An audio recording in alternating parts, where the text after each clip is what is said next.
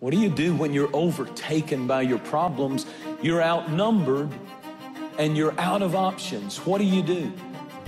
The option is defined as being something chosen, an alternative. We need and want options. If we're going to buy a car, we want to know the options. If we're buying insurance, we want to find out the option. We are an option oriented society. But the word opportunity means circumstances that are favorable for a purpose to be accomplished.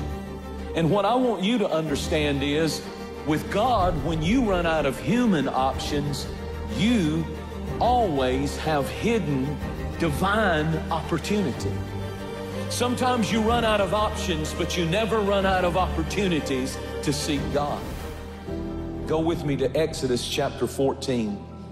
Notice verse 9. So the Egyptians pursued them and all the horses and chariots of Pharaoh, his horsemen and his army, and overtook them camping by the sea beside Hebroth before Baal Zephon. The Bible said they were overtaken, just as Israel had come out of Egypt and they were headed to the promised land.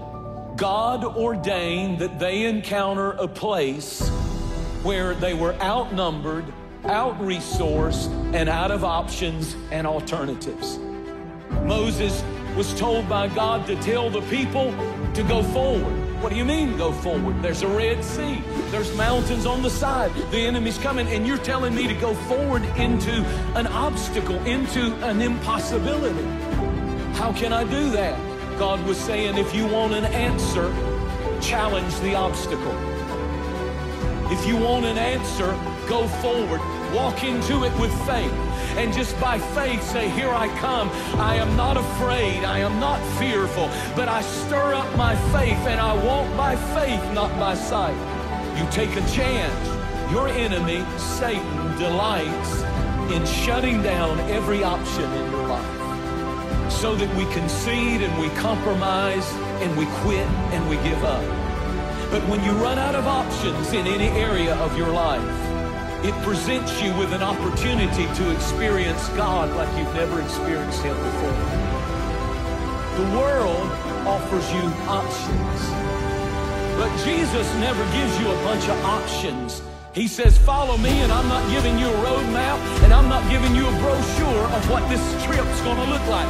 You follow me wherever I go.